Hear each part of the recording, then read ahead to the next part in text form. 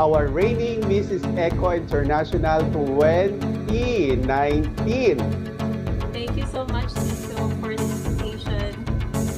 So what is the initial reaction of your family, especially your dad, that you are the chosen Miss Intercontinental 2020 of New Zealand? The one and only Miss Grand United States, Abida Apia. Hi everyone! Hello po, Tito D. Kumusta kayo?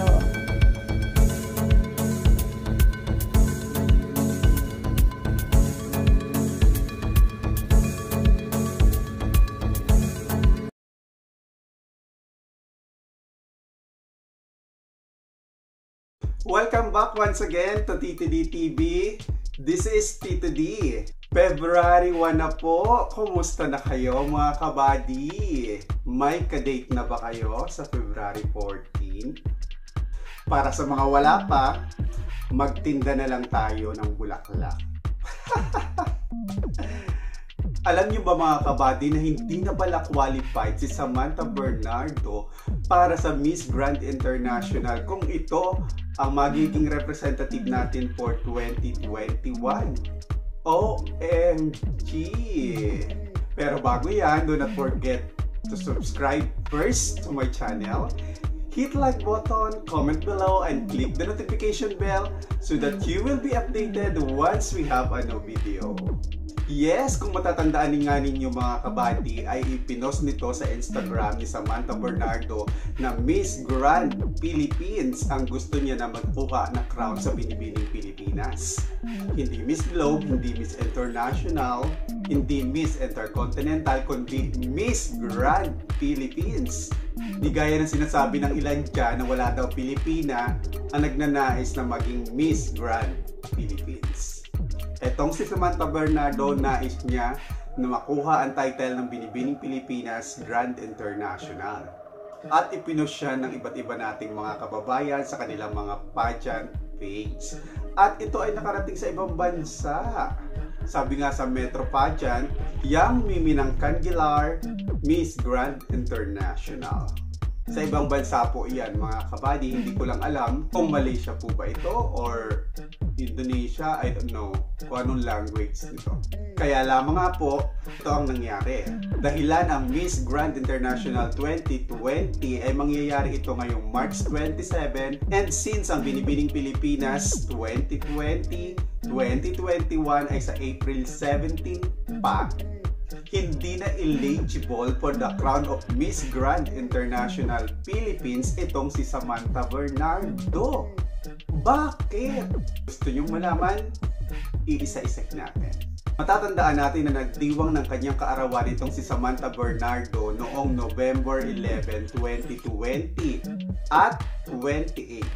Ibig sabihin po, noong November 11 ay 28 years old na po itong si Samantha Bernardo. At ang age qualification ng Miss Grand International ay 18 years old to 27 years old only. Except sa kandidata ng Miss Grand International 2020 na pinayagan na tumanggap ng 28 years old.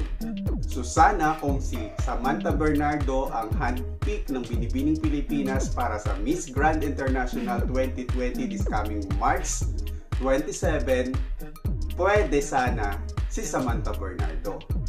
Ang kaso, itong si Sam, second runner-up lamang ng Binibining Pilipinas 2019.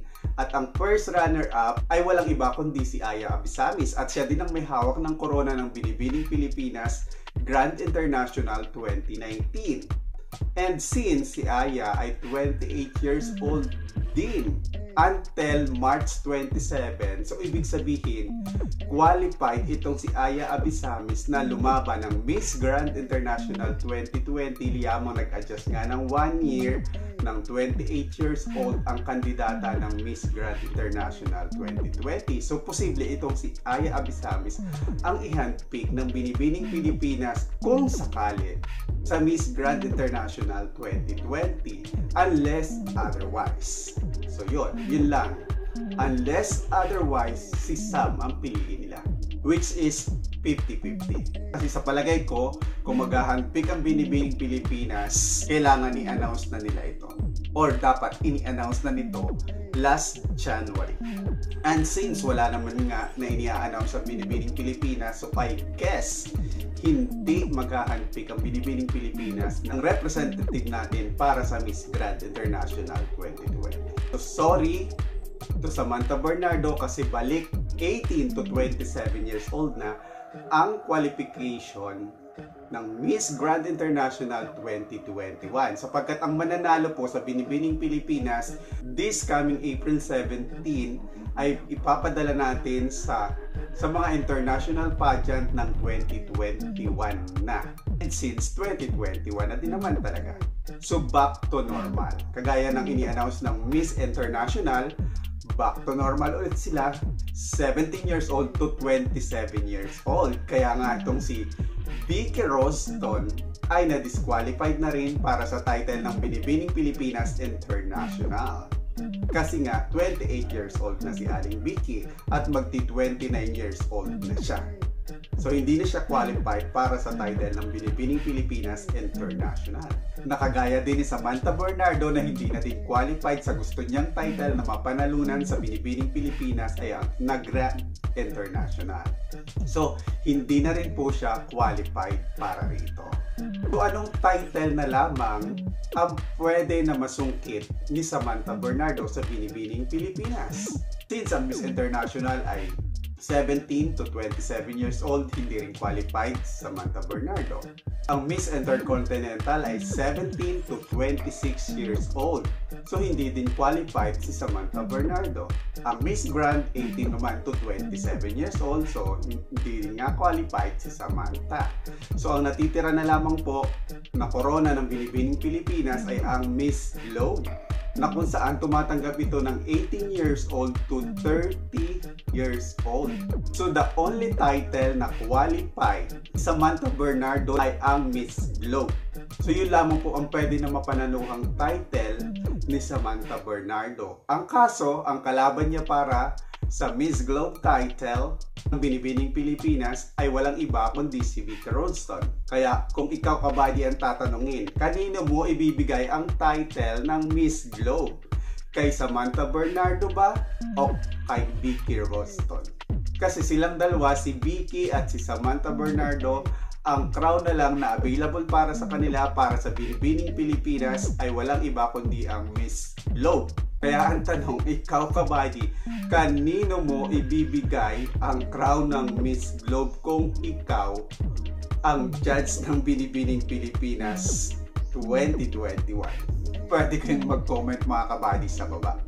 I-comment niyo po sa baba yan kung sino ba ang bibigyan nyo ng crown ng Binibining Pilipinas Globe 2021 nakakalungkot lang para sa dalawang ito mga kabady sapagkat silang dalawa si Vicky at si Sambi eh mga veterano na ito mga kabady at kahit paano naman ay alam na din natin yung capacity nila yung ganda nila, yung husay nila so I guess this time dapat magkaroon sila ng crown kung ako ang tatanungin, silang dalawa gusto kong bigyan ng crown. Ang kaso, Miss Globe na nga lang ang natitira ng crown.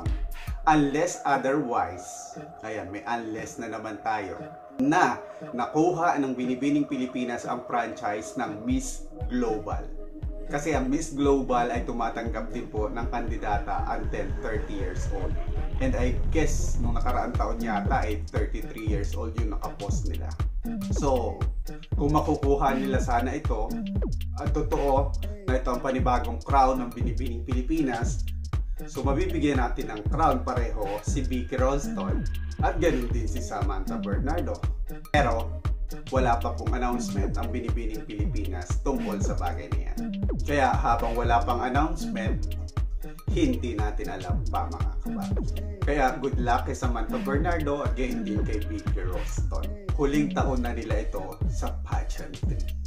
At alam nyo ba na ang pambato ng Davao del Sur, if I'm not mistaken, del Sur or del Norte na si Justin Pilisarta ay target din niya ang crown ng Binibining Pilipinas Grand International. At nag-comment pa nga ito sa aking post sa Instagram na sabi niya, yes, lalaban po ako. para sa crown na ito ng Miss Grand International Philippines. Ang second choice lamang niya po ay ang Miss International. So ang first choice ni Justin ay Miss Grand International or Binibining Pilipinas Grand International. Second choice lamang po niya ang Binibining Pilipinas International. So aabangan din natin ito si Justin Pilisarta ng Davao. Pero batay sa nakikita ko, mahusay sa communication skill itong si Justin. And hopefully, makapag-guest din siya dito sa Tito D TV soon. Kinukulit na kasi ako ng kanyang mga supporters na Tito D, interviewin niyo na si Justin.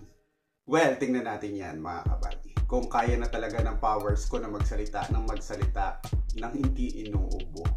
Unlike pag mga gatitong vlog, yung ubo ko, nakakat ko eh. Napuputol ko. Hindi ko na naipapakita sa inyo pero kapag live interview, makikita nyo na talaga yung ubo ko.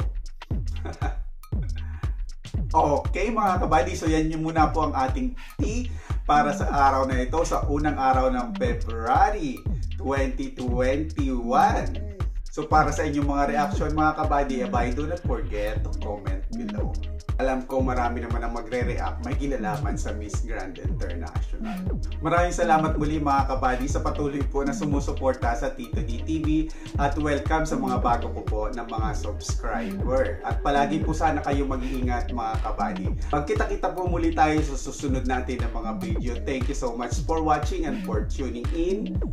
See you on my next vlog. Bye!